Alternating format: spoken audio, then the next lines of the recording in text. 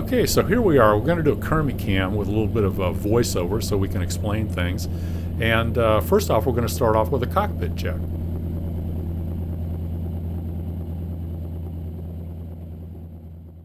Yeah, so this is the left side of the cockpit of our AT6D. Here we have the fuel selector. As you can see, it's in the off position currently. There's basically two fuel tanks in the center section, one on the right side, one on the left side, basically 55 gallons. And there's a selection over there uh, for a reserve that's actually in the left tank, and that allows you to uh, get absolutely the most uh, fuel out of that left tank. And generally, we take off and land on the reserve. Okay, next up we're going to look at the uh, uh, the trim and the wobble pump over there. The wobble pump handle uh, is the one in the middle of the two wheels. And uh, basically, it's a, just a hand pump, and you actually just wobble it uh, in case the you know the engine's not running, the engine-driven pump, and that's how you would basically prime uh, the fuel to the carburetor prior to the engine starting. So you hand wobble up pressure. You can use the primer uh, there's a primer that squirts a cylinder, you know, fuel into the top of some of the cylinders for starting. And in case of the engine-driven pump, once the engine starts starting, that's your primary fuel pump. But if the engine ever quit, you could actually hand pump the uh, uh, the the wobble pump there. If for some reason you ran a tank dry on a cross country or something, and the engine quit, and you swapped over to the other tank, you'd probably want to wobble that uh, you know, to where you made sure that you had fuel pressure to get uh, fuel up to the carburetor as soon as possible. So the wheel closest to us is the elevator trim. As you can see, it rolls forward or backwards. The little notch in the top is kind of the neutral position. So if you roll it forward, uh, that NH implies nose heavy. So the nose would drop. If you rolled the wheel back, it would be tail heavy. The nose would come up. And in the back there, the rudder trim is basically a similar thing with a notch for neutral for takeoff and landing, and uh, you would roll it forward for right trim and roll it back for left trim. Okay, so we're back to the left side of the cockpit again. And now we're going to be looking at the throttle quadrant up here. And uh, basically you have your throttle, mixture, and propeller control with a, uh, a way to increase the friction. So first off, uh, the main handle there is the throttle, the big one. The little button on the side is a push to talk for the microphone for talking on the radio. Handle down below it there, the little red handle has a little notch. You can see it sits into the little indents there so it won't move. And that's basically your mixture control. Uh, when you shut the engine off, you basically it's in idle cutoff where it is now for takeoff and starting, you would push it all the way forward. Once you're at altitude and you're cruising, depending on the altitude, you would lean the mixture back. And of course, the little notches are made so it won't move past that notch. That little black knob in the front there, it actually should say P on it, and that's your propeller uh, basically control for your constant speed prop. And full forward there, the propeller would be in fine pitch for takeoff. And once you got up to a cruise setting, you could actually uh, bring it back. The takeoff, I can't remember on this airplane, but it's, you know, full throttle is up to the red line. And then once you start cruising, you would start bringing that back to set the RPM for the engine. And the prop would basically change pitch uh, through the governor depending on whether or not you were climbing or diving or uh, different changes in attitude. Down there at the bottom, there's a little knob that says increase uh, friction. And the, what you do with there is, uh, you know, on takeoff, you want to be able to push the throttle forward. If for some reason you got to reach over and grab something, the, the hydraulic uh, handle for uh, adding pressure to put the landing gear handle up and down and the landing gear handle is on the left side so you would not want the throttle to creep back. So you would adjust that friction to where the throttle could still move uh, but you would basically want to make sure that uh, you know it did move unless you pulled it uh, with some reasonable amount of pressure. Here we're looking at the landing gear uh, control system and forward there you can see the little red handle there says landing gear. Uh, that's actually the lever to raise and lower the landing gear. And as you can see, there's a little notch there, and it's in the down position right now. If we were to raise the landing gear on takeoff, the first thing that we would actually do is there's a little yellow handle on the back there that says push on it. And what we would do is we would push that. That would actually uh, pressurize the hydraulic system, which in this airplane, uh, it eventually goes back to zero. So you have to push that handle, pressurize the system. Once the system pressure is up there, you would grab the landing gear handle in the front, you would pull it inboard to get that uh, notch uh, you know, the little tab there out of the detent, you would pull the landing gear up and it would lock uh, into that detent in the above there. And then the landing gear would come up, it would finish its cycle. When the, the pressure would put the landing gear up all the way, but then what would happen was eventually, after a certain time period, that little hydraulic handle in the back there, it would release itself and the pressure would go back to zero. The other handle up there that says flap on it uh, is basically your flap selector, and uh, uh, currently it's probably in the uh, it's either in the neutral position or the down. Anyway, it has a, an up, a neutral, and a down position. And so what would uh, what would happen is when you wanted to operate the flaps, normally it would be in the neutral position.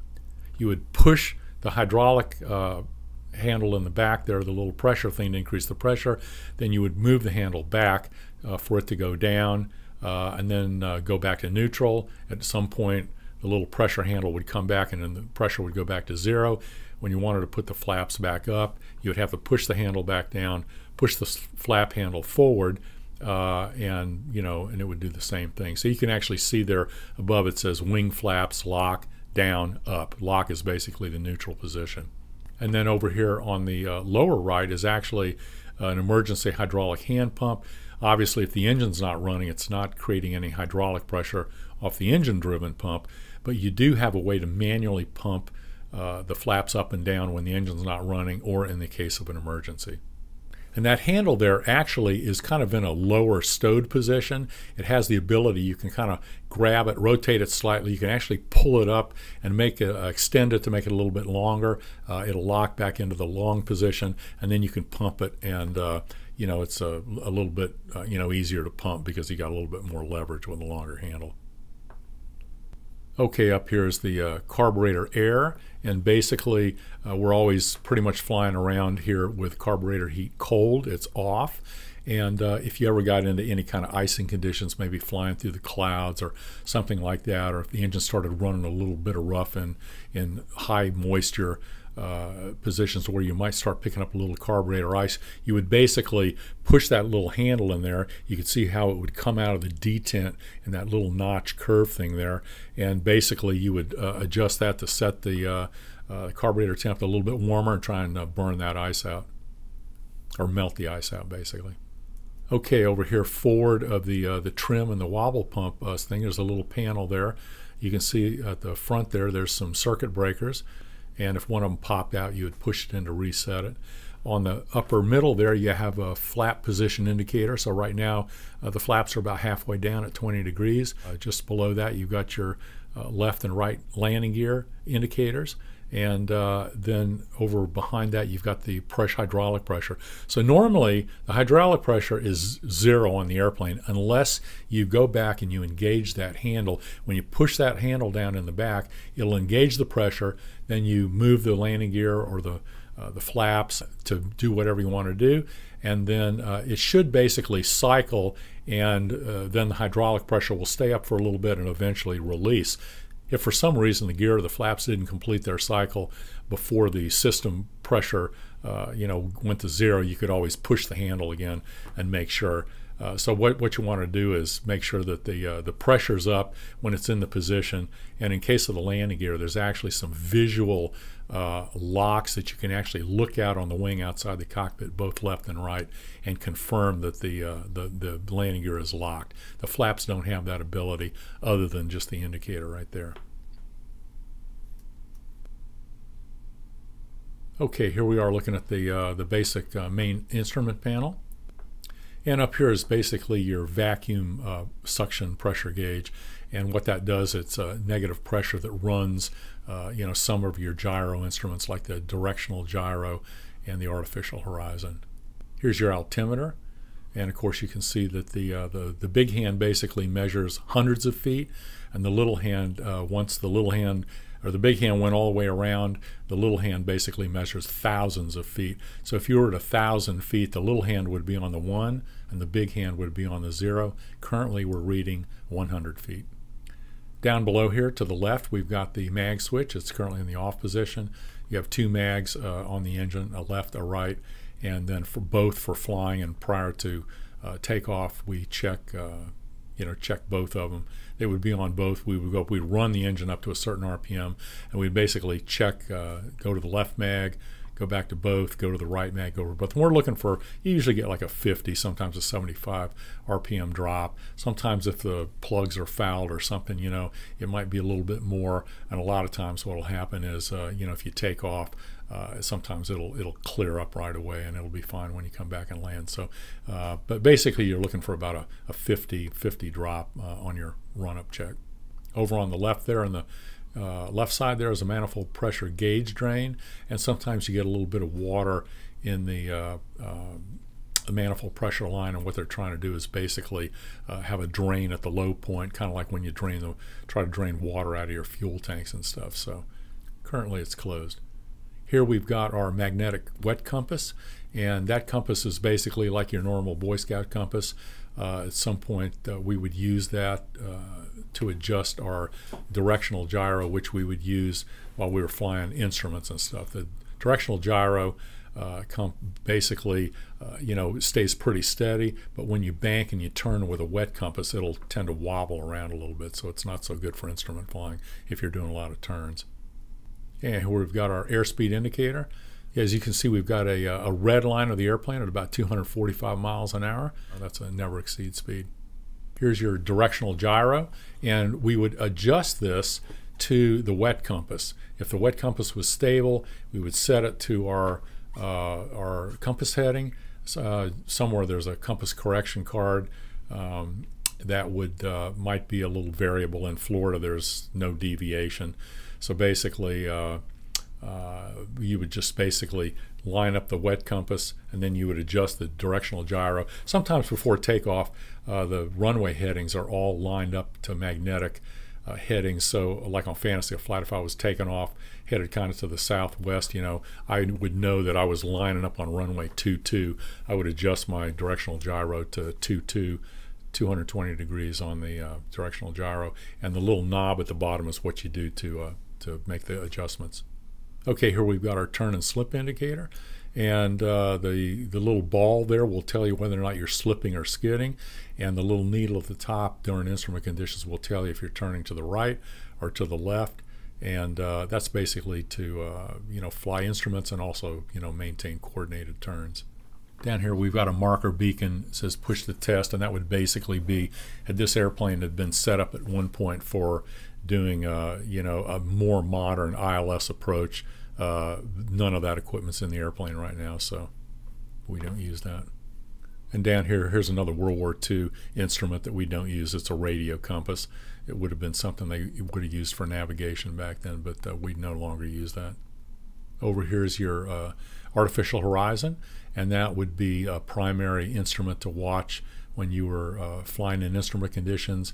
Uh, currently, the, the vacuum system over on the left is not running, and the vacuum gauge would basically spin up the gyro in that, and uh, the horizon would come up, and basically your little uh, two wings and the dot is your airplane and the airplane. So if this thing was actually flying right now, we would be in a slightly climbing left turn.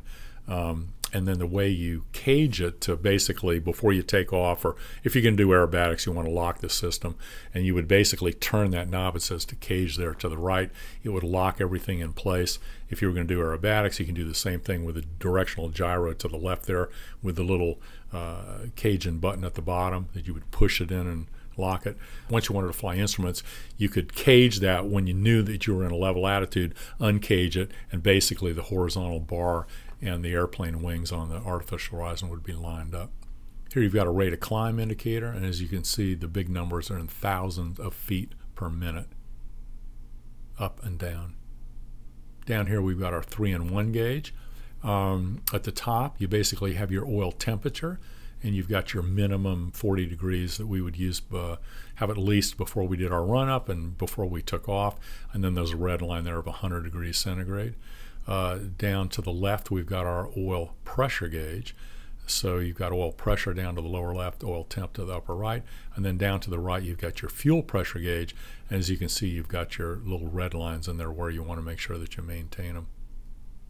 Here you've got your RPM gauge, and on takeoff, the airplane basically with the propeller full forward and full throttle would turn up 2300 RPM.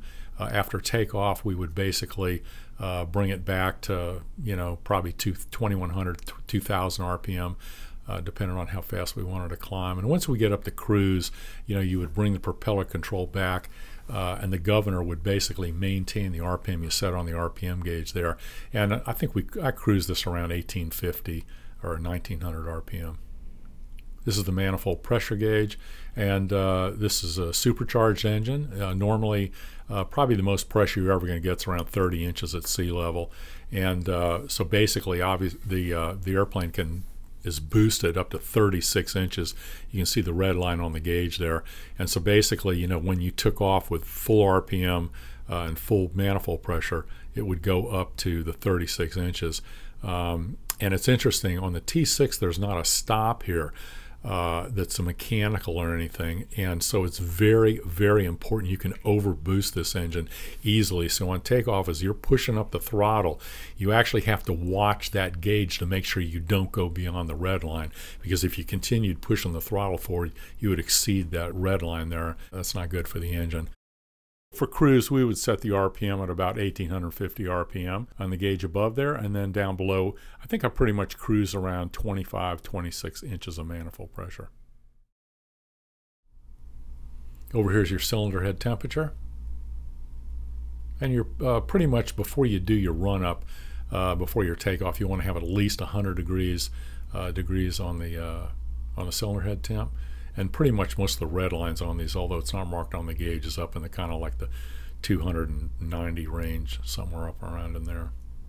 Down here we've got the low fuel pressure light, and if for some reason the fuel pressure started getting uh, below what would normally require to run the airplane, either because the uh, you were running out of fuel, your one tank was about to go dry, or you were, um, uh, you know, the engine-driven pump was starting to, uh, you know, give up the ghost or something like that, that light would come on and give you a warning to where you know you either need to switch tanks or you need to start wobbling with the manual hand pump to make sure that you maintain that fuel pressure over on the triple pressure gauge uh, between the two little red lines there. Over here we've got the carburetor air temperature gauge and that would be basically used for uh, making sure that if you were uh, getting into icing conditions, you know, you might want to adjust, use that to adjust your carburetor heat uh, control, which is down on the left side there when we first started, and uh, you know basically uh, you know maintain a certain temperature to keep any ice getting in the carburetor, which could you know start getting the airplane to you know start running rough. Okay, moving down here uh, to the lower panel. Down here on the lower left here, we've got kind of the kind of electrical panel. Here on the upper left, we've got the ammeter, and that basically tells you that the uh, the generator is putting out uh, power to charge the battery and maintain the electrical system. And basically, uh, that just shows you know how much power it's putting out. To the right there, we've got uh, left and right. Those are uh, you know dimmer lights for the cockpit for flying at night down below that in the middle we've got the battery. We would turn that on to turn the battery on. Uh, the little disconnect down below there would be if you were going to use an external battery cart or something like that you know in case the battery was low or dead or for some reason you wanted to use that. And then once you started and you pulled the external card off you would actually turn the battery on. So that's the battery that's the master switch. Just to the right of that is the generator switch. So the generator would be uh, you know, on. Uh, and generator really doesn't come on line until you get up about oh, probably 1500 RPM, and then you'll see the ammeter pop up there, and you would look at that and check that that was working on your engine run up. There's some more cockpit lights to the right of that. To the right of that is the oil dilution switch. In really, really cold conditions, I'm sure this is not connected on our airplane right now. Uh, you would, uh, like if you were up in Alaska or Siberia or something like that, and it was really cold, uh, based on how cold it was going to be the next time you started the engine. You actually, there's a chart in the manual that uh, you would look at, and you would actually flick that switch up, and you're actually taking fuel out of the fuel tank and you're putting it into the oil system to dilute the oil system so it's not so thick the next time you start it when it's really cold. Just to the right of that is the starter switch. Uh, this particular one is uh, wired for direct cranking, it says. Yeah, some of the early ones had basically a, uh, an energizing starter, an inertial starter that you could either hand crank or you could actually wind it up to a certain point and uh, uh, energize it. And then at some point you flick the switch over and it actually engages it. And at that point the engine would start turning. This particular one, as soon as you flick the switch, uh, it starts cranking. That was kind of a later thing they came up with. Okay, so down here we basically just have a panel with a lot of the light switches. Uh, starting on the left is the landing lights. Uh, they're located in the leading edge of the wing and they're used to uh, see the runway at night. Got some kind of passing lights there. There's fuel gauge lights that basically light the fuel gauges up so you can see them at night down below the uh, each side of the seat in the cockpit. Uh, heat basically, uh, there's actually you can heat the pitot tube, which is out in the you know under one of the wings there for making sure that it doesn't ice up so you don't lose your airspeed and your altimeter. Uh, position lights, I believe that's probably your nav lights that are flying at night. We don't fly this thing at night. And then there's a strobe light, which is actually a, a modern uh, a modern light that's been added. Over on the right, there is a rheostat for some kind of lights that I'm sure are not hooked up because they're not marked. None of that's used to date. Okay, so down here on the right, we've got an old piece of radio equipment. It's basically an ADF. It was used for navigation. Yeah, and then in the upper left there, we've basically just got a, a COM receiver transmit radio. Down below that is a transponder. Currently, it's set to 1200. Generally, when you're flying around in, uh, you know, airport areas and things like that, you know, you want to let people know where you are. Uh, if you're not talking to anybody, you basically squawk 1200. That's a VFR frequency. If you were in instrument conditions, they would give you a specific code, and that would basically uh, broadcast your specific code, and they would know exactly uh, where you were. Down below, that's just part of the intercom system, so I can talk to the passenger in the back seat. And on the uh, the control stick there in the middle, there's a little button on the top. That's actually for the intercom. Uh, to talk if I want to talk to the control tower or something like that. I use the one on the throttle, and the one on the stick there is if I want to talk to the passenger in the back.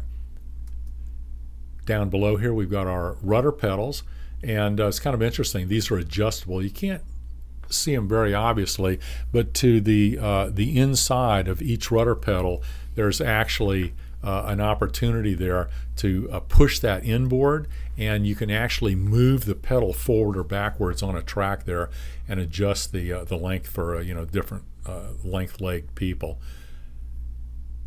in the upper right there, that's the fuel primer, and we would wobble up pressure manually before the engine started, you know, to get some pressure, and then we would uh, uh, pull that handle out. It actually locks to the right.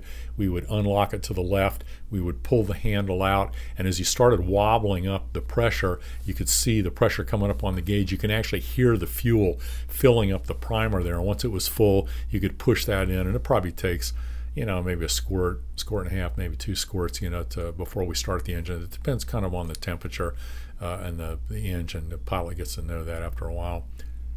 Over on the left side, there's a parking brake.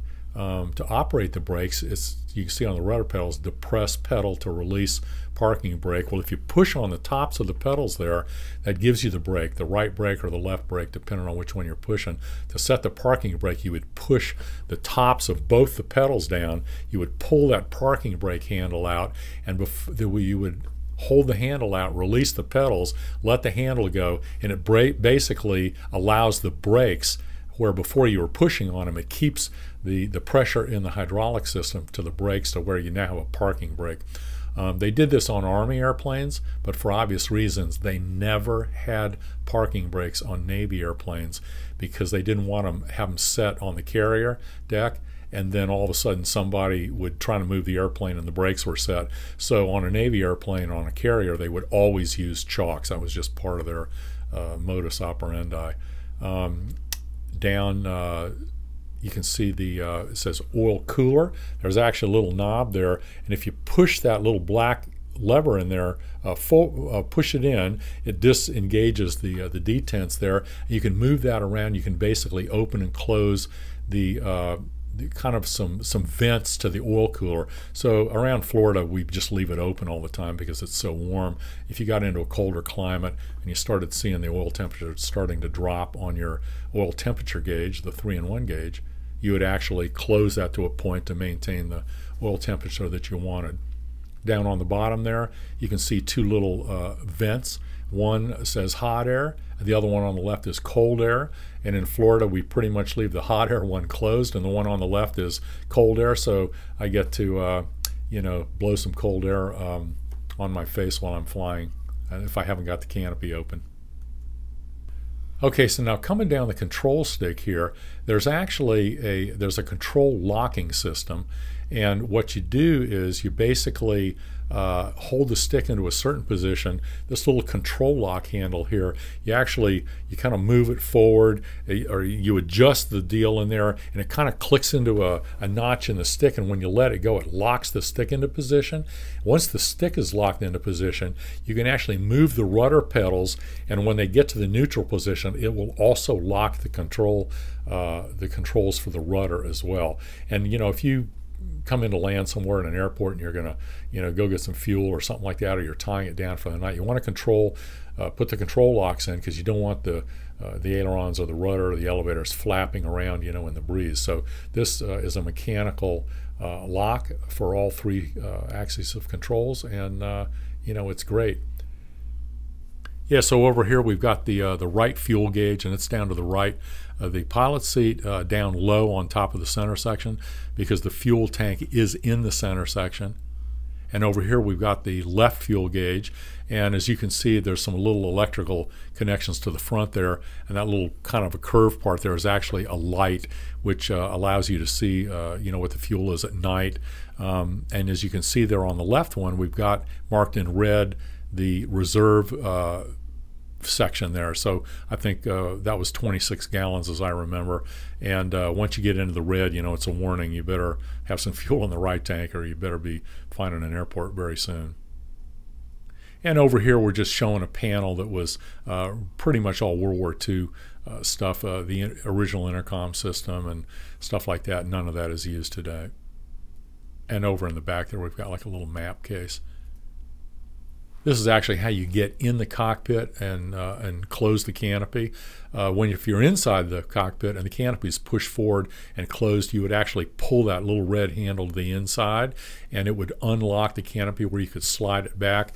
Uh, if you're coming up the airplane, you left it overnight then what you do is you would actually lift up that little uh, gray uh, pin on the outside, which would unlock the inside and allow you to basically, from the outside, push the canopy back and get in the airplane.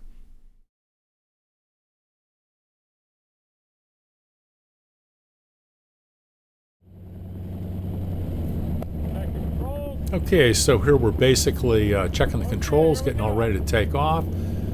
I've got the stick forward because I'm taxiing out, looking at my watch.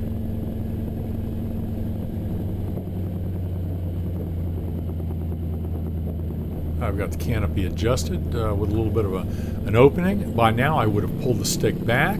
I would have wiggled the uh, rudder pedals to line up the, lock the tail wheel. Here we go, getting some speed. I would look down at the uh, manifold pressure setting and make sure I didn't exceed 36 inches on takeoff. Getting the tail up, lifting off. I'm gonna look down to the left. I'm gonna push that power lever, get pressure, pull the landing gear handle up.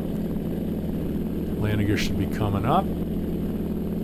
And once the landing gear comes up, at some point the hydraulic pressure will still stay and then go down to zero.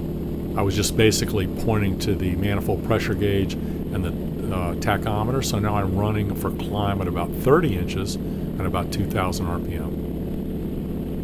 Still got uh, full mixture rich.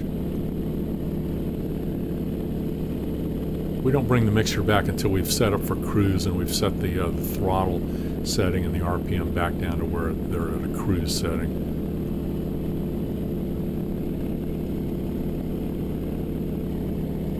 See, you got pretty good visibility out of this at uh, reasonably high.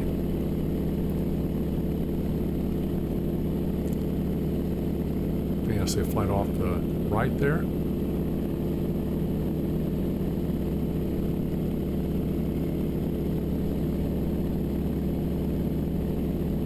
Of lakes around where uh, where I'm currently located with Fantasy Flight, so it's great to have some seaplanes.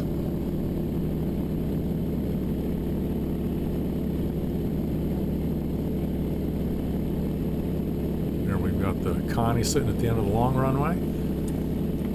And hopefully one day that big open field behind where the white hangar is and the main entrance is is going to be Fantasy Flight Act 3.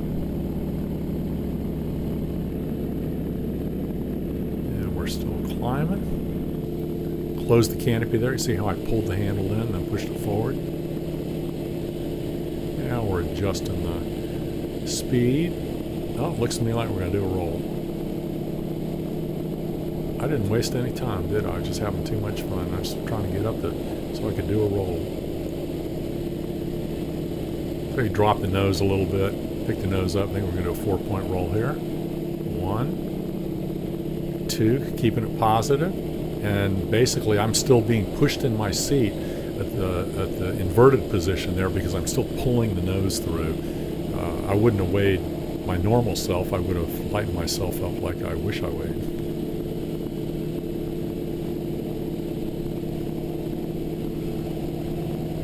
Lots of somebody off there. I don't know who that is. Might be from one of the local theme parks. I'm going to have to shoot them down. I'm sorry. They've invaded my space.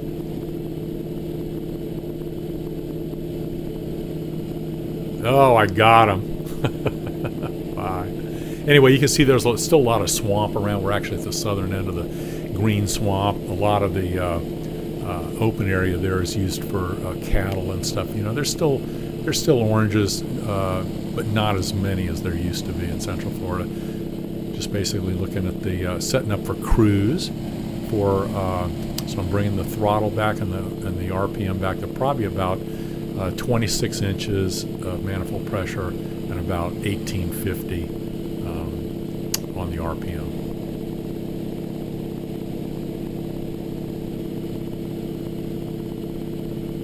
The little bump there up on the right side was actually uh, a blister for a 30 caliber machine gun actually one on the left here. I'll have to look to see if. Uh... That was a snap roll. Not the greatest recovery, but basically, uh, you can do that at about 120 miles an hour. Yeah, so so. About 120 miles an hour is a good snapping speed. I actually flew uh, the Sportsman aerobatic sequence in competition one time. The problem with the T6 is you couldn't keep it in the box. You you by the time you did a slow roll in the middle, you go out the one end. That's another snap. That's a little bit better. The T6 has an air, is an airplane that would actually snap very, very good. It's such a great trainer because it's got that kind of tapered leading edge. And if you get slow and you get that ball uh, out of the center and you pull back at some point, man, that thing will snap. And you know, I've spun it and everything too. So we played around at altitude. So now I'm just cracking the canopy to somebody else down there. Oh my God. Might be an ace by the time I land. Here we go. Uh, going down a local strip here. It appears that I'm going too fast, so I'm probably going to have to do a balk landing. Yeah, I was going too fast to land, so I elected to go around. Now, I don't know if you can notice, but I'm starting to get a little bit of oil on the windshield. I fly with numerous rags in this airplane and I don't know why, but I had a I had a T6G prior to this, and they were both the same. Um, so I don't know. Maybe everybody else has got a T6 that doesn't leak oil, but everyone I, have had, I'm always, you know, you know, basically having to wipe the windshield with a rag every once in a while. Fortunately, I have long arms.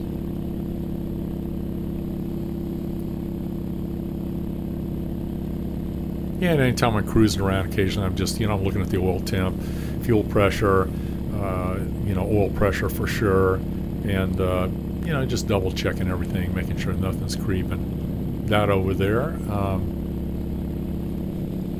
part of that is my orange grove.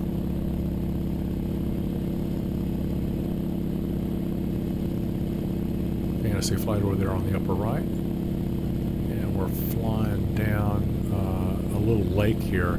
When I originally bought Fantasy Flight, there was three pieces of property. Um, where the runway cuts in that big tree thing in the middle there, one of the pieces was south of that. One of them was north where Fantasy of Flight is. And what I'm about to fly over was another piece which I purchased what I'm flying over right now to protect my approach to make sure somebody didn't build a house on the end of my runway. So, so I'm flying over the second piece and now I'm flying basically over the third piece down there to the right. So they were completely independent owners and when I first bought the property. I didn't know if I was going to be able to get them all together, so but eventually I did, and the rest is history. The reason our runways are grass is because we fly airplanes also from you know the early days uh, that had no brakes and uses used tail skids. So, and you know a lot, most of the airfields in World War II over in England and stuff they had to build them really fast, and uh, they operated out of grass fields. It wasn't uh, the more permanent ones used the uh, concrete runways. Got a B-25, got a Connie.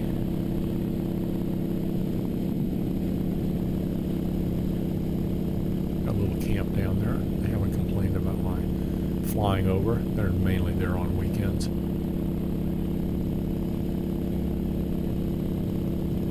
Yeah, you can see a lot of oranges around there. They're still there, people trying to make a living with them. Uh, since that time, some of those don't exist anymore. due to greening and citrus canker and anyway, property values going up. Making a little bit of an angle coming in on my short runway there just to make a flyby.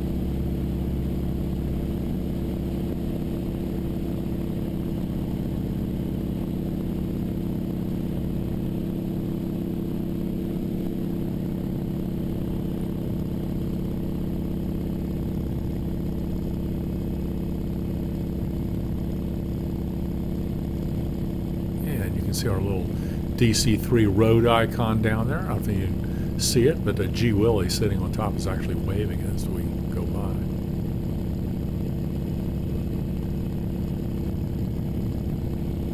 That's Interstate 4 down there. Coming back, I think we're probably one last pass.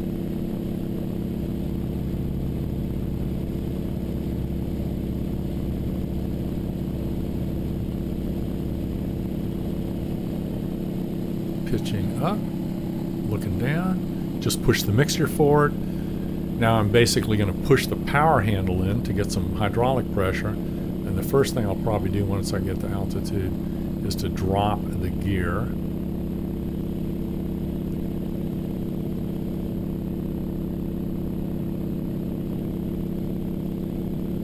And actually, if you look out there on the wing, you can see there's a little clear panel and on each side you can actually see when the top of the landing gear locks into position. That's basically, it's a visual lock. Here I'm getting my rag out, getting ready to clean the windshield so I can see where I'm going when I land.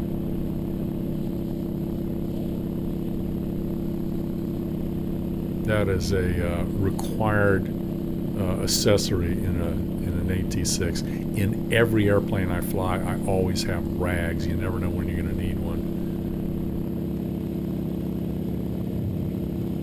pushing the canopy all the way back.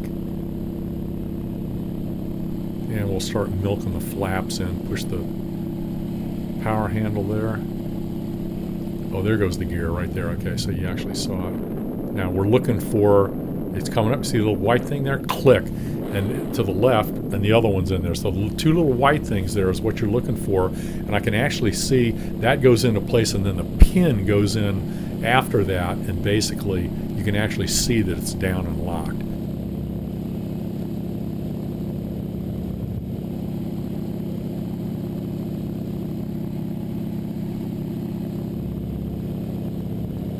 Then at some point we're basically, you know, setting the RPM uh, for a go around. I would probably set it up to about 2,000 RPM. I uh, got the throttle back, so it actually would never do that. But right before I land, I would push the prop in all the way, mixture in all the way, and uh, in case you had to do a go around. Runway's up to the left.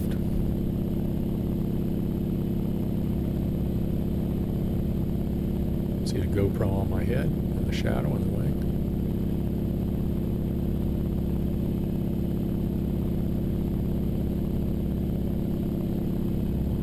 got some trees to go over as well as some power lines. And when I first got to uh, Fantasy of Flight and I put the runway in, I said, uh, you know, y'all need to put some orange balls on those power lines. They said, why? Because I'm, my landing gear might take them out one day. And very shortly, they, uh, they put some balls on the power lines.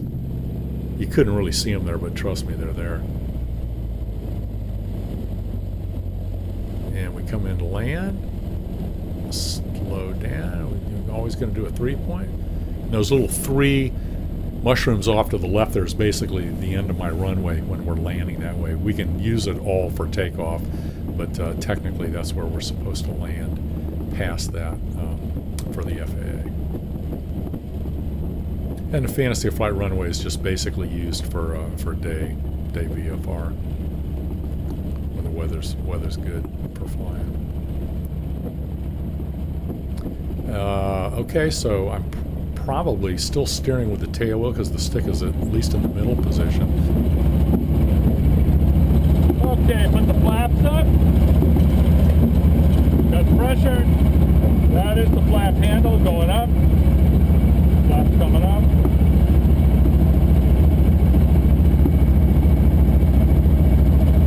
Flaps are up, back to neutral. Now we test turn to see which way we're going.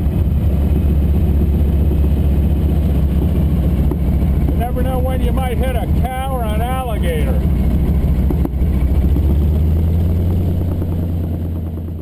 And at this point, I have the stick forward, and I'm actually using a little bit of brake to taxi because I want to see what's in front of me.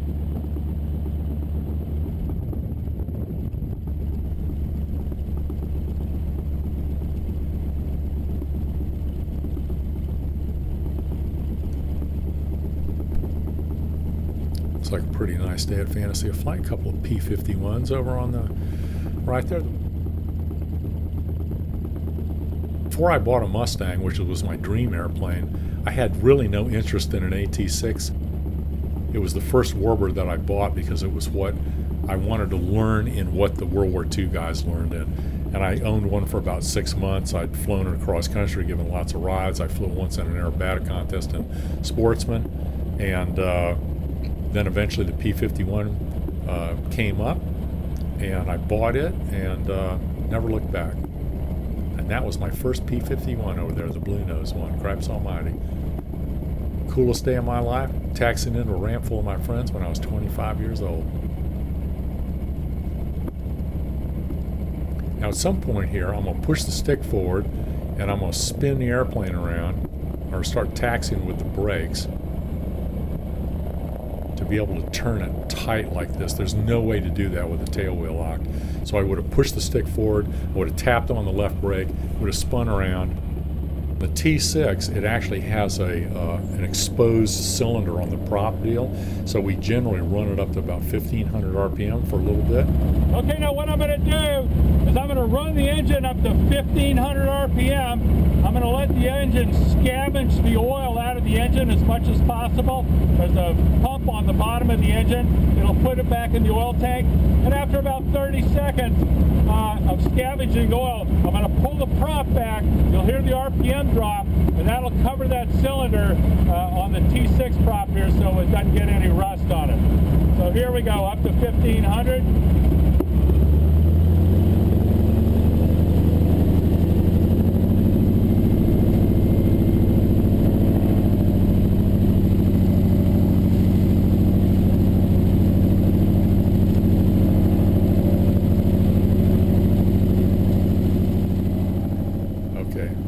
There I go. I've just pulled the uh, propeller back.